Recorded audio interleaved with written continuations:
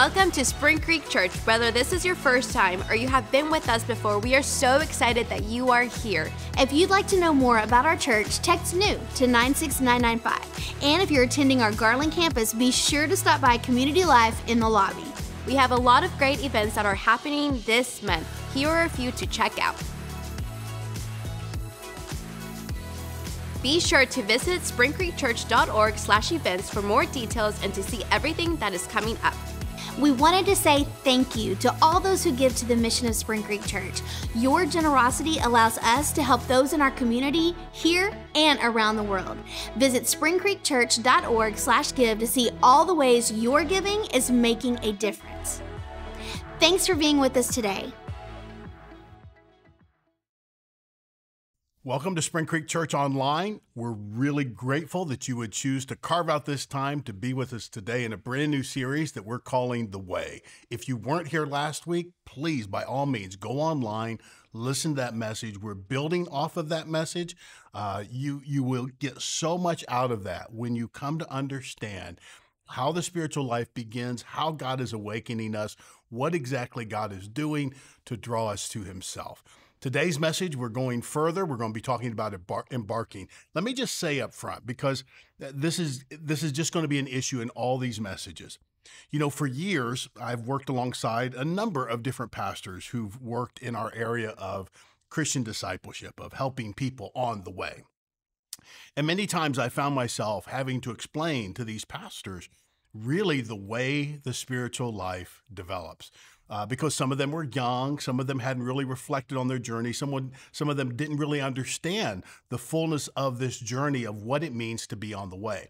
And so, what we wanted to do is at the first of this year is just dedicate some time and in five weeks' time, kind of give you the 30,000 foot view of the spiritual life and how we grow in that walk with God.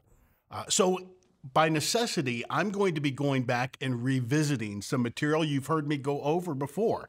Uh, but I put it together. It's it's different. These are different messages. I've never done these messages before, but I've combined them so that we will have a real clear understanding of how God begins his work in our life, how that develops, how we grow, how we cooperate with him. And this message is no different. So join me as we get started in a word of prayer. Father, I am so grateful that you are my God, that I love you, that uh, I get to follow you, and I have the privilege of leading this wonderful group of people. I ask that today, as we gather around your word, that you're just going to have complete freedom in all of our hearts and all of our minds to really speak into us, God, those areas where we're needing to grow, where we're needing to be challenged, where we need to surrender. In Jesus' name I pray. Amen. Ken Canfield tells this really interesting story about a theology class at seminary where the students were to devote the entire course to learning about God. On the first day of the semester, the professor handed out a personal questionnaire. So many of these questions on the survey had to deal with the students' perception of their fathers and the relationship they had with him. The surveys were collected, no more was said about it. Over the course of the next several months, studying about God, the students pretty much forgot about those initial surveys. But at the end of the course, the professor handed out a second survey. This time, the students were supposed to record their honest perceptions of God and their feelings about their relationship with Him. But here's the twist the questions were exactly the same as on the first survey, except this time the questions were about God, their Heavenly Father, and not their earthly dads. When the professor returned the survey, including the previously forgotten one, the students were astounded that even after a whole semester of studying about God, they still had trouble differentiating their relationship with God from their relationship with their dads. Both sets of answers were remarkably similar. Bottom line, good teaching alone can't change the imprinting on our souls. So, in order to change people's God image, we need more than just good information. Because you see, I can teach you all day long the truth about who God is as He's revealed in Scripture, but many times our hearts won't let our minds embrace those truths. We got wounds. Uh, we're limited by our experiences. So we don't always experience God in His fullness. We talked about this last week how often it is that the image of God that we have tethered to our hearts is distorted by the relationships we've had in this world. That God image needs healing. Now, I can tell you from personal experience, this is exactly what happened to me. I spent five years in Bible college, three in graduate school at Dallas Theological Seminary. And regardless of having excellent teachers, regardless of years of studying scripture, my experience with God always seemed to mirror my relationship with my dad. In the same way, I never felt really close to my dad. I, I found it difficult to feel close to God. Because of my father's abandonment, I had no real sense of security in my relationship with God and lived in constant fear that I would somehow disappoint him and that he might find similar reasons to reject me. I felt like God was disinterested in my life, just like I felt with my own father, who was never really all that interested in me, my life, or what I was becoming. For most people, this is one of the first realities we face on the way. We have to come to terms with both who we are and who God is. And that's what today's message is all about. So, first, to make any real advancement in the spiritual life, to truly be a follower of the way, we must first be the sort of people who come to terms with our own brokenness.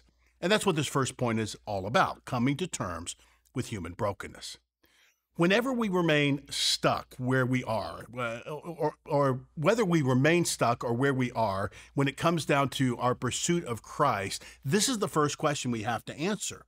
Are you honest enough to admit your spiritual poverty? Jesus taught us this Blessed are the poor in spirit, for theirs is the kingdom of heaven. The Wuest translations put it this, puts it this way Spiritually prosperous are the destitute and helpless in the realm of the spirit, because theirs is the kingdom of heaven. So Jesus says to a people who think that striking it rich is the blessed life, that the blessed life begins when you understand that you're begging poor in the spiritual life. In the spiritual realm, the first step to freedom is admitting there's a problem. So God tells us that the path of blessing begins with an acknowledgement of our messes, our most devastating, vulnerable, secret, difficult, stumbling, failed, sinful, embarrassing, and painful experiences in our lives. We have to own all that, confess it, admit it just to begin the spiritual life. Listen to Joni Eareckson Tada describe it. Little wonder the gospel is only good news to those who consider themselves losers.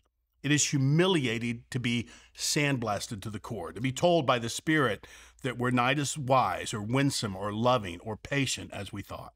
But when the mask of pride is ripped away, there's something refreshing about knowing yourself at the core the vulnerability, the transparency, the relief of nothing more to hide. You see, by owning our own brokenness, it's not saying that everyone out there is an addict or everyone out there's done, done or said horrible things, because Things like addiction and lust and anger issues and lying and theft, they're just symptoms of the real problem. You see, the real problem all of us share in common is what this next point is all about. The nature of human brokenness is it's bent toward selfishness. So Jesus has an encounter with a young man that really drives this truth home. Jesus talked to this man about eternal life. The key to understanding this story, though, is a strategic omission on the part of Jesus. Listen to the story and see if you can spot what's missing.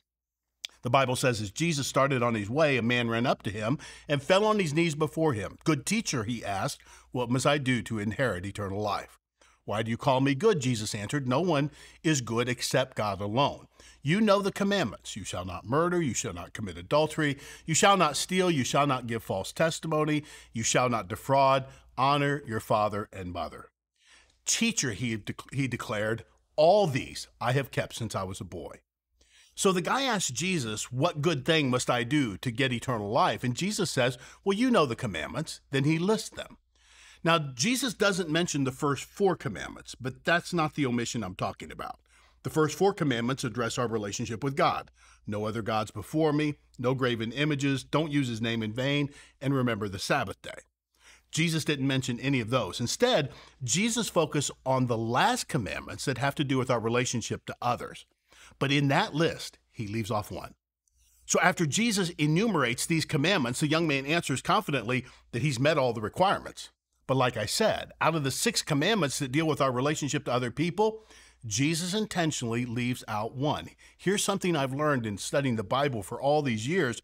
Whenever you find a list in the Bible with something intentionally left out, you better set up and take notice. The one commandment Jesus left out was the very one that would most reveal this young man's heart. Jesus left out the last commandment, the tenth one don't covet. So get this What's unique about the commandments that Jesus does list is that each of them manifests itself in a spe- specific, external, observable behavior. If you murder, there's a body. If you lie, you've spoken something that others hear. If you commit adultery, you've committed a physical act. If you steal, you have something in your possession that doesn't belong to you. So if you read the law like this young man did in a very superficial and external way, you might conclude that you've successfully kept the law which is what people still do to this day. We look at the Ten Commandments and think, I'm a pretty good person because I don't do any of those things that are forbidden. But what you can say about the other commandments, you cannot say about the tenth. Coveting is unique because it addresses something that can't be seen. Coveting's about the heart. Coveting is the one commandment that lays bare the fact that we're broken people because all of us, our internal wanter is broken. That's also why this is the one sin most people never confess because it's unseen. It's easy to deny it. It's the one sin that shows us most our sinfulness. I want what I want, and I want it more than what's best for you or even what God wants.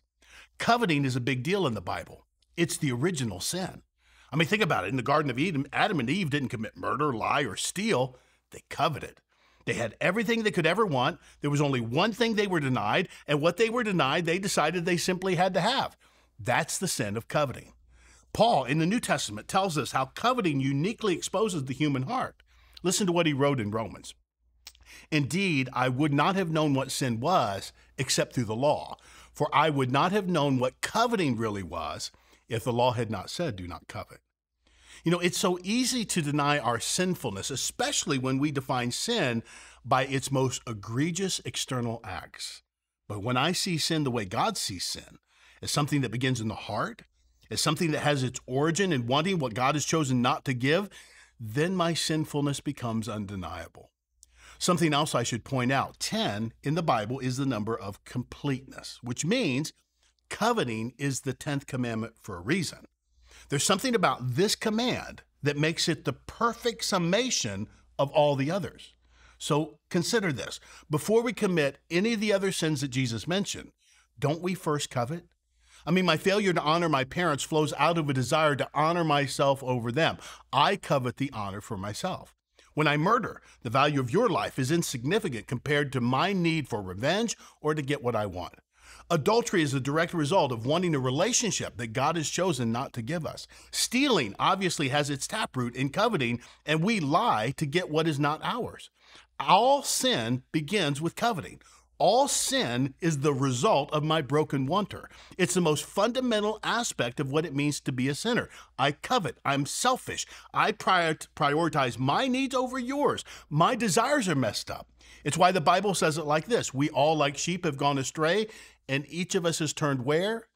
To our own way.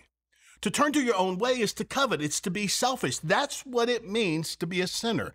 Not that you've committed adultery, lied, stolen, or murder. Yes, those are sins. But first and foremost, you and I are guilty of wanting things that God has chosen not to give us. We want our way. James reminds us that even as adults, we face the similar sin issue. Where do you think all these appalling wars and quarrels come from? Do you think they just happen? Think again. They come about because you want your own way and fight for it deep inside yourself. I want what I want. That's what it means to be a sinner.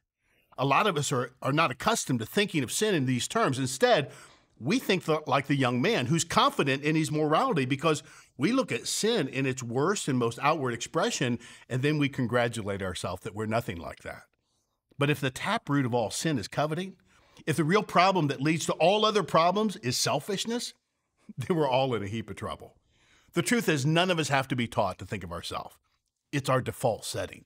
Even your nine month old baby has already learned how to make a scene when someone takes something from them.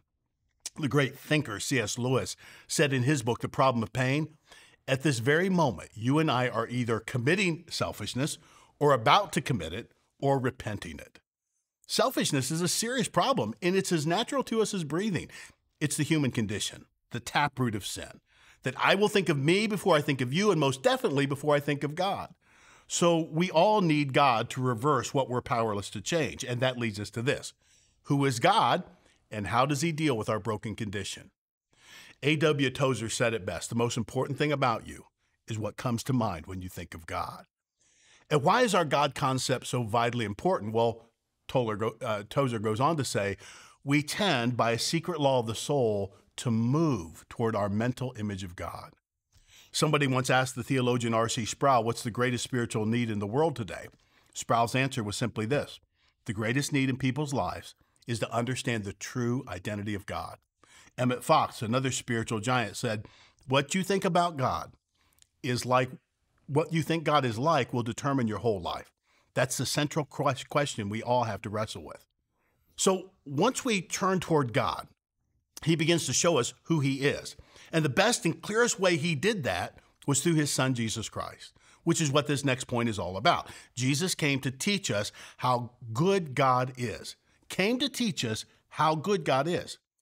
Jesus once told a story to help us get to know what his father was actually like, and here's what he said If your little boy asks you for a serving of fish, do you scare him with a live snake on his plate? If your little girl asks for an egg, do you trick her with a spider? As bad as you are, you wouldn't think of such a thing. You're at least decent to your own children. And don't you think the Father, who conceived you in love, will give you the Holy Spirit when you ask Him? God is the Father who made you, loves you, and sustains you. God is not some cold, angry, distant bureaucrat in the sky. God is like a good mom or a good dad who gives good things to their children. It's only when I begin to see and trust in His goodness that I feel the freedom to really bring my whole self, my real self, into the relationship. Now, let me tell you something from the heart. The goodness of God is not some minor league truth about God in the Bible. It's one that gets major airtime in Scripture from cover to cover and has huge implications for how we relate to God. The goodness of God is a lens, it's a perspective through which we have to see all of life's circumstances. It's a worldview. It's a set of glasses, if you will, through which you interpret everything around me. It leads me to say things like, I may not know why this is happening, but I know God is good. I don't know the answer to that question, but I know God is good. I might be hurting and confused, but I know God is good.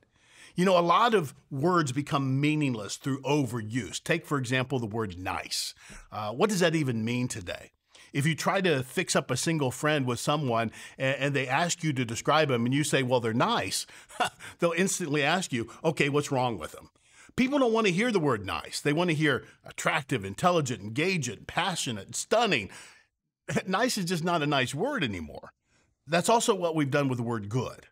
Good just isn't what it used to be. If, if you tell someone they did a good job, they think it was only good. In our competitive, high achieving society, no one wants to be good. You want to be stellar, skilled, charismatic, and gifted, but not good. Good sounds like average or below average. And since we've done this to the word good, it gets in the way of our understanding of God.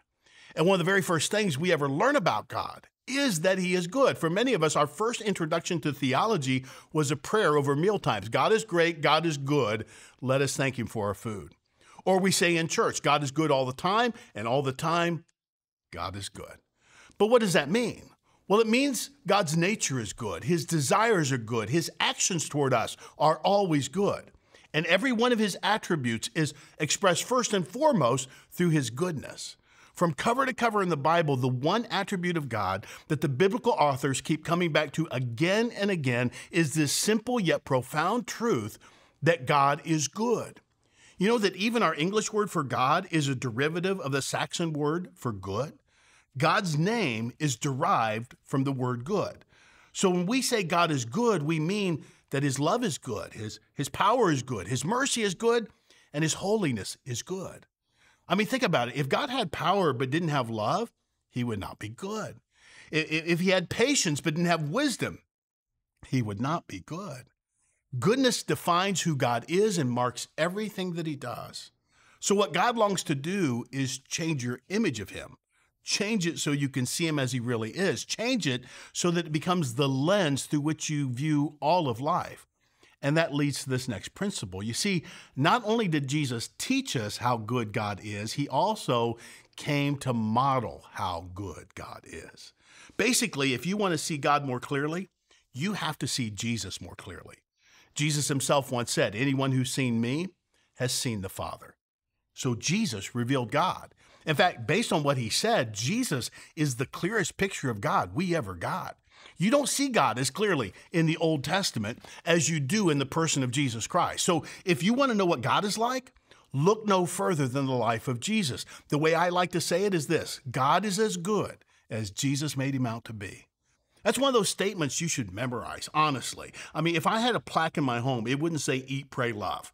It would say God is as good as Jesus made him out to be. I have thought about that truth for hours. I've meditated on it. I've carried it in my heart on my long walks and on the hikes with God. I've rehearsed it over and over again until I no longer doubted it. All day long, for days on end, I would meditate and repeat the phrase, God is as good as Jesus made him out to be.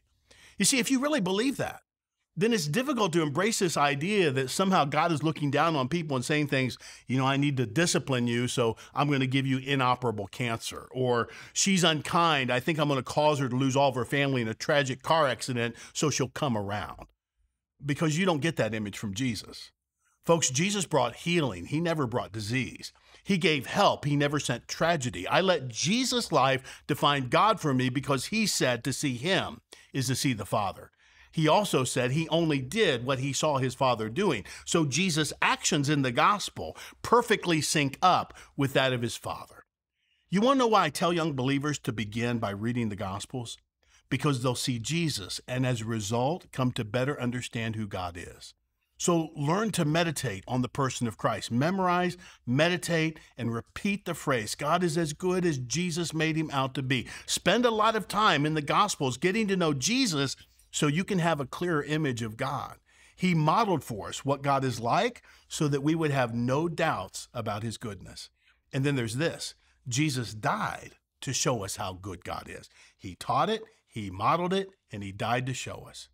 You know, I'd like to talk to you about something I call soul fear, because it's the one fear out of which every other fear you have grows. Until you deal with this fear, all the others will persist. Soul fear is about the fear that we're not lovable. And the only remedy to soul fear is knowing that you are absolutely, totally, unconditionally loved as you are. The truth is, we all need this unconditional love. We have to have it. And to be perfectly honest, we can't get this from other people. I hear people say it all the time I give unconditional love to so and so. You don't. Not moms, not dads, not grandparents, not siblings, not teachers, not lovers or spouses, because no human being is capable of absolute unconditional love. I'm sorry to have to say that, but it's true. If there's anything I could ever do to you, or anything I might do that would make you love me less, then it fails the test of unconditional love. That's the bad news. And it also happens to be the reason why many of us stay trapped in soul fear. We try to get unconditional love from people who are incapable of giving it to us. But the good news is this this is the way God loves. It's why John wrote this there is no fear in love, but perfect love drives out fear, because fear has to do with, with punishment. The one who fears is not made perfect in love. Perfect love, that's God's love, not your love, not my love.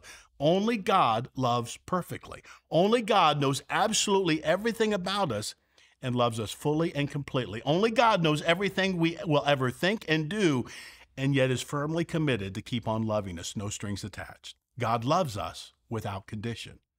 Now, I want you to think about this. Suppose that I could, with God's help, truly love my own daughter unconditionally. Suppose that were possible. But let's say the whole time I'm loving her unconditionally, she's de- desperately trying to please me. Would she even notice the unconditional nature of my love? No, she wouldn't. She wouldn't really see it. She wouldn't really experience it. Why? She wouldn't experience it because she would be trying to earn it. In fact, receiving love while you're trying to earn love only reinforces the effort to be lovable because no matter what sort of love she would be receiving, she would still believe in her heart she's receiving it because she's good or doing things that please me. So rather than being changed by my love, it would only increase her efforts to earn love. And that leads to this important point.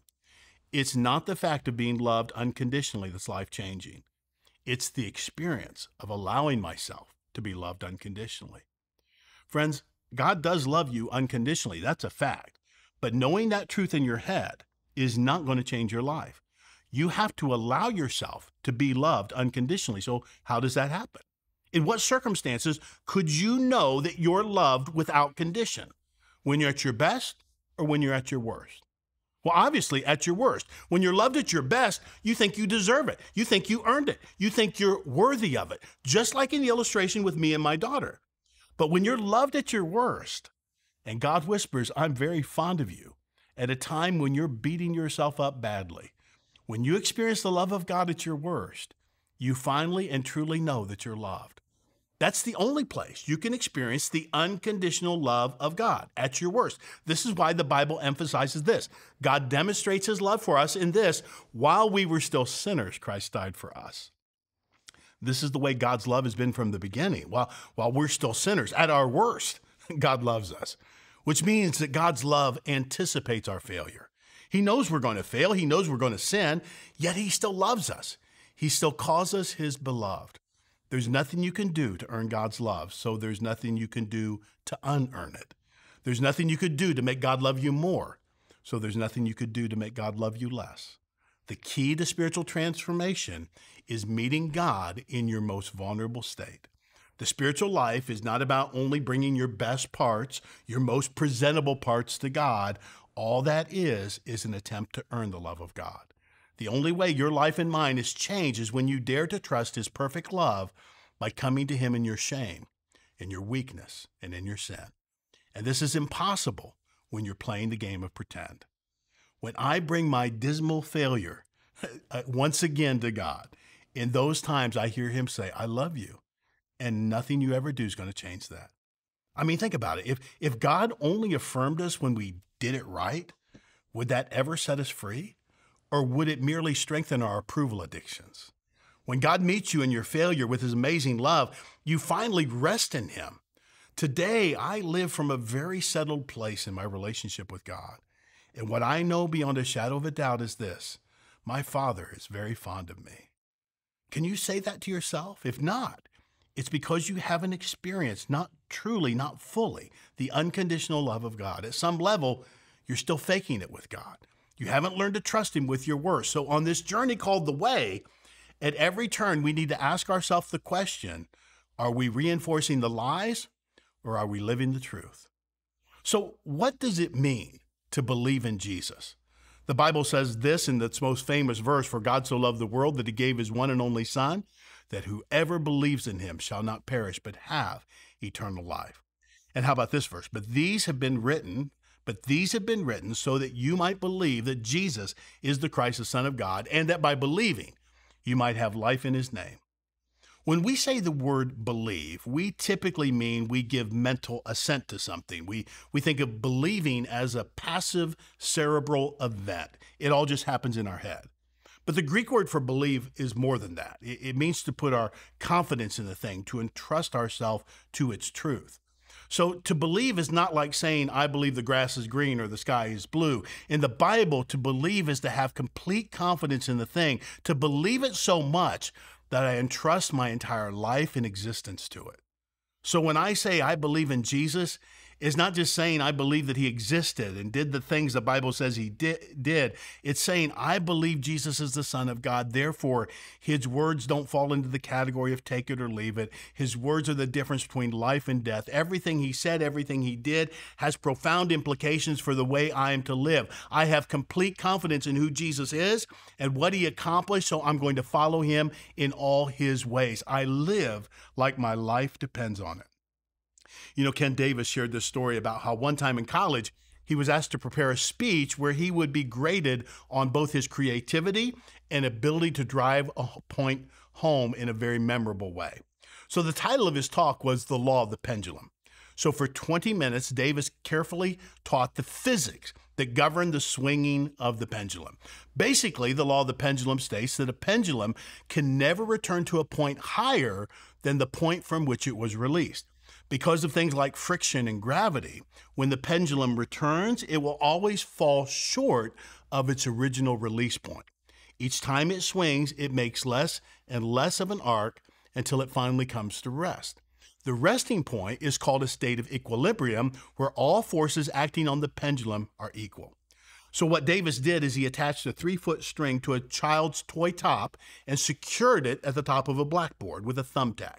He pulled the top to one side, made a mark on the blackboard where he let it go. And each time it swung back, he made a new mark, and it took less than a minute for the top to complete its swinging and come to rest. When the demonstration was over, the markings on the blackboard proved his thesis. He then asked how many of his classmates believed the law of the pendulum was true. Every one of them raised their hands, as did the teacher. The teacher, thinking the speech was over, started walking to the front of the classroom. But Davis's speech actually had just begun. Because hanging from the steel ceiling beams in the middle of the room was a large, crude, but functional pendulum. 250 pounds of metal weights tied to four strands of 500 pound test parachute cord. He invited the teacher to climb up on a table and sit in a chair with the back of his head against a concrete wall. Davis then brought the 250 pounds of metal up to the teacher's nose. Holding the pendulum just a fraction of an inch from his face, he once again explained the law of the pendulum. And he said, if the law of the pendulum is true, then when I release this mass of metal, it will swing across the room and return short of the release point. Your nose will be in no danger. Now, after stating that, he looked the teacher in the eye and he asked, Sir, do you believe this law is true? There was a long pause. Huge beads of sweat formed on his upper lip, and then he nodded and whispered, Yes. David released, or Davis, he released the pendulum. It, it, made this swishing sound as it arced across the room. At the far end of its swing, it paused momentarily, then started back. The classroom never saw a man move so fast in their life. The teacher literally dove off the table. Davis then asked his classmates, Does our teacher believe in the law of the pendulum? And the students unanimously answered, No. When I say I believe in Jesus, it's like Ken Davis asking his teacher if he believed in the law of the pendulum. Not do you give mental assent to this truth, but do you stake your life on this truth? Do your beliefs manifest themselves in how you live? The other thing I want to tell you is that Christ exchanges my sinfulness for God's goodness. That's what the Bible says. Look at this verse. God was in Christ, restoring the world to himself, no longer counting men's sins against them, but blotting them out. God took the sinless Christ and poured into him our sins. Then, in exchange, he poured God's goodness into us. On the cross, all of my sin was put onto Jesus and judged. Then God his goodness was poured into me. This is what we call the great exchange my rags for his riches, my badness for his goodness, my sin for his righteousness. The gospel doesn't just offer forgiveness for my bad record, but also promises me complete acceptance through Christ's perfect record. This has been God's plan all along. He wants to make all things right again. That's what righteousness really means anyway, to make things right. Righteousness is God righting the wrong that sin has worked in our soul, distorting our emotions, deceiving our thinking, holding captive our will to sin, damaging our relationships, keeping us from Him. God begins to reverse the curse of selfishness. You need Jesus to make that right. Christ loved you when you were unlovely. Christ sought you when you were not looking. Christ clothed you when you were naked. Christ traded his life for yours. He looked you in the eye before your execution and traded places with you. He was charged with your sins. You were credited with his righteousness. That's God's plan of salvation. And we believe that. We commit our lives to it. We stake our future on it. We live like forgiven people who don't have to earn God's approval. In Christ, we stand covered in the robes of righteousness. So, as we pursue God and God faithfully reveals himself to us, he shows us his plan to make right what is wrong, to reverse the curse of selfishness in our heart, to pay the penalty for sin so that we, we don't have to, and to take up residence inside of us. So, you believe, do you believe that? And do you live like it's true? And it leads me to this final question How do I know if it's real and if it works? You see, God creates a human heart, God creates a new heart within the human self. His work of regeneration provides a new source for righteous living, new aspirations, and a new power for service. As God promised through the prophet Ezekiel, he said, A new heart also will I give you, and a new spirit will I put within you. And I will take away the stony heart out of your flesh, and I will give you a heart of flesh. And I will put my spirit within you and cause you to walk in my statutes. Paul sums up this divine transformation like this Therefore, if any man be in Christ, he's a new creature. Old things are passed away. Behold, all things are become new. But it leads to a question, doesn't it? And David Benner said it really well. If an encounter with the divine love is so transformational, how is it that so many of us have survived such encounters relatively unchanged? The Bible talks a lot about transformation, conversion, if you will. A change so significant that when it comes over a person, it's like passing from death to life. The person's a brand new creation. Paul wrote, The old is gone, the new is come. The Bible uses very strong language to describe this new birth, even the term new birth. When a person embraces Christ as their forgiver and leader, the change is so profound, it's like this person has been born all over again. Uh, if that's what the new life is, then why isn't that always apparent?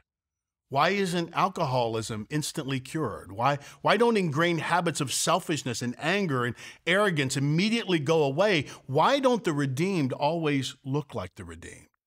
This is an important question because it goes back to what we were talking about last week.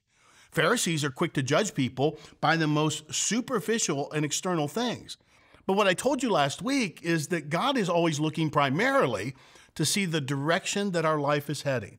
It's the difference between bounded set thinking and centered set thinking. But the same thinking is still is at work as we move along this journey on the way. Someone will genuinely trust Christ's work on the cross for their healing and forgiveness. But on the outside, they're still pretty rough. They still have a ways to go.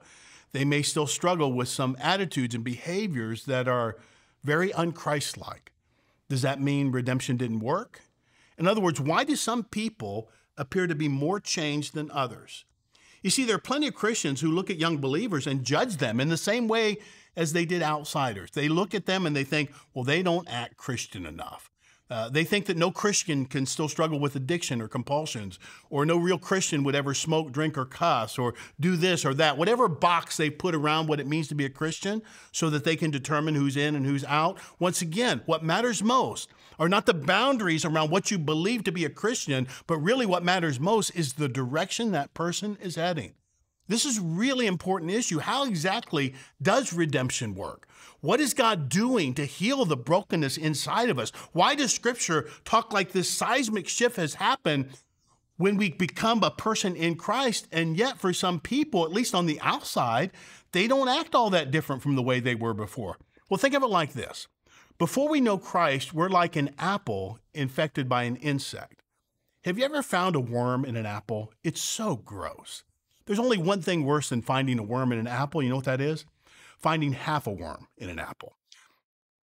Okay, so the outside of the apple may look delicious and even appear to be healthy, but internally it's been infected by an insect. The core is rotten. The, the rot has spread to contaminate other parts of the apple, slowly turning it brown. By the way, do you know how the worm gets inside an apple? Now, you might think that the worm burrowed its way in from the outside, but that's not true. The worm actually comes from inside the apple.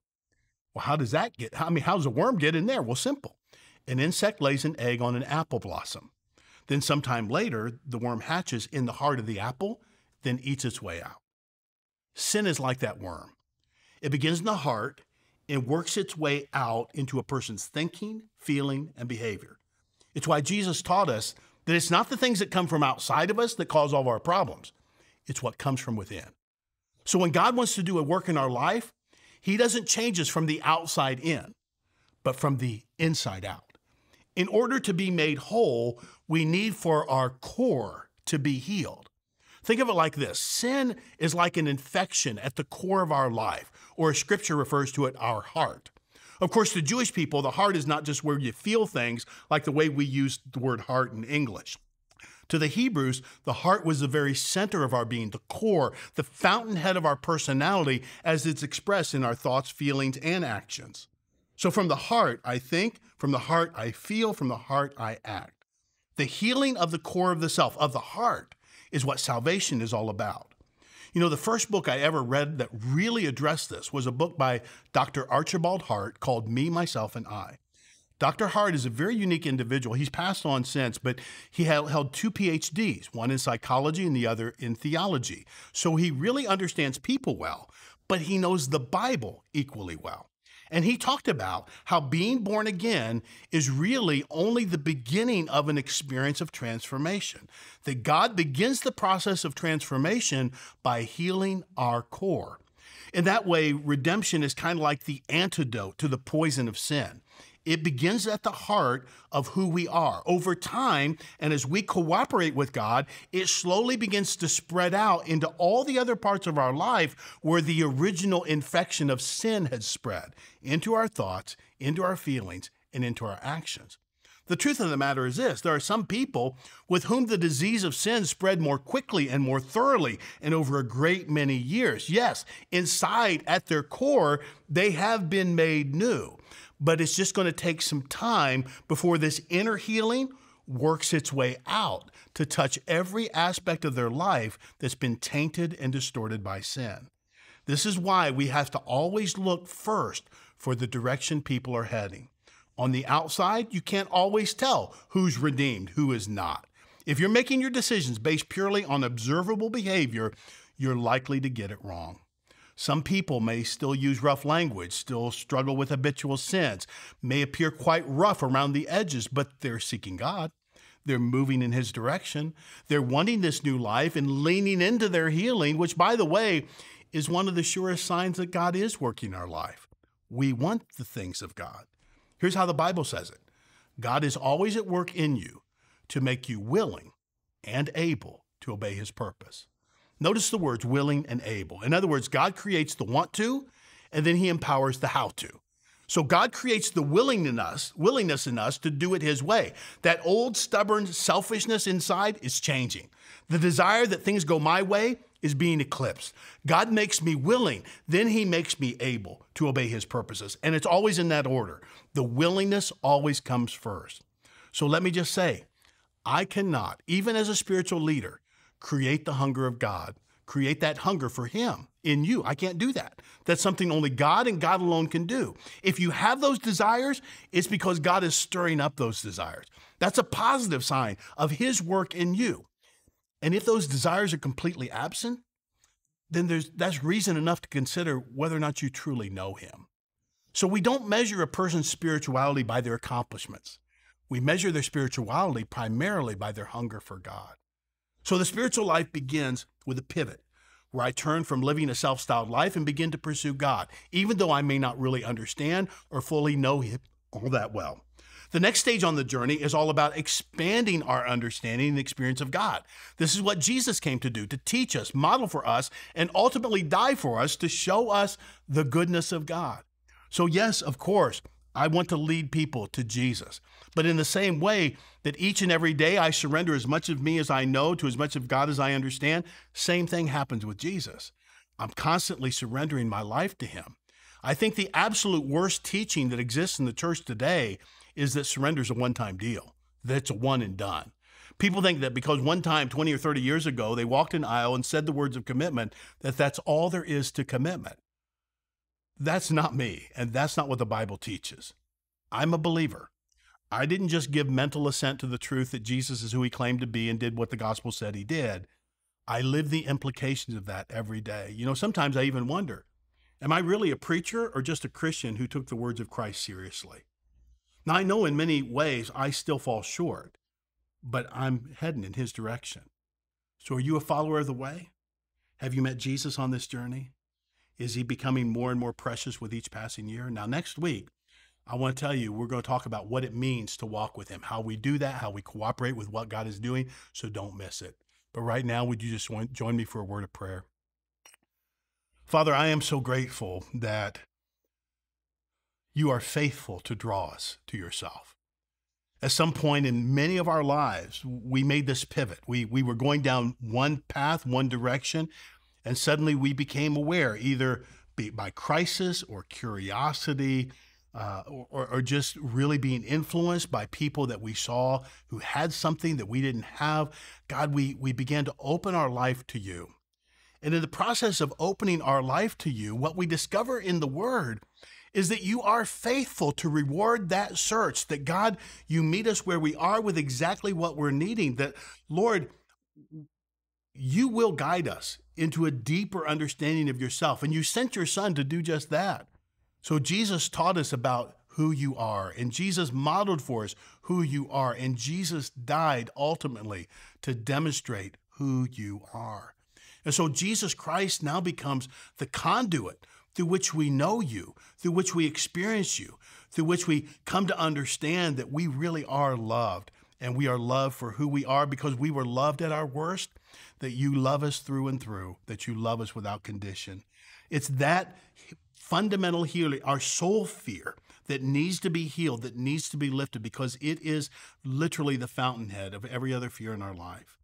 I pray, God, for anyone who doesn't know you in a personal relationship, that, that Lord, they've, they've made that turn. They have been seeking you, but now, maybe for the first time, they're coming to understand what it means to believe, to believe that what you accomplished on the cross was done for them.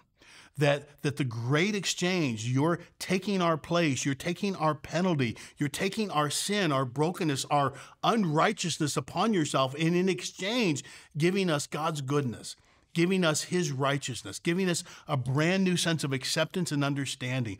God, for anybody who, who, who wants to know, to know Jesus Christ in a personal relationship, it is not hard. It is not difficult.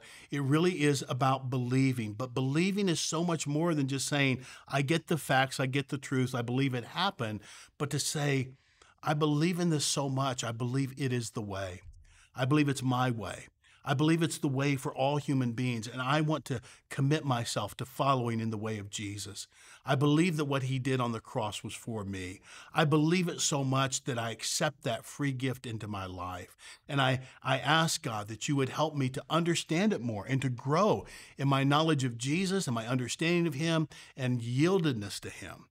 I pray, Father, that you would ignite a fire in so many hearts and so many lives and so many people who, who've just seemingly grown content to just have Jesus and nothing else.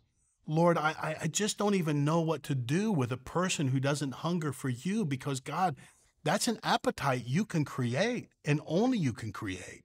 And so, whether we're just continuing to just feast on junk the junk food of life and therefore have no appetite? Or or or god maybe people right now are in tune with that appetite but have been very frustrated because of their experience with christians and their experiences with churches.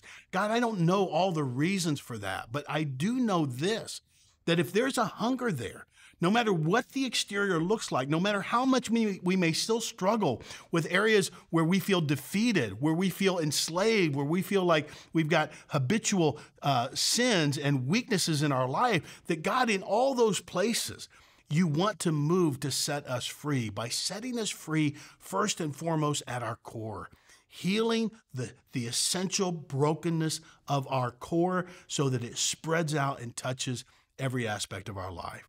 Thank you, God, for what you're teaching us. God, continue to lead us throughout this series as we learn more and more about what it means to be a follower of the way. In Jesus' name I pray it all. Amen. Thanks for being with us today. We're always grateful that you would carve out this time, share this message, like this message, but more importantly, be a witness to others. I mean, this is our great privilege to share with others the good news of what we have found along the way. God bless you. I hope it's a great week.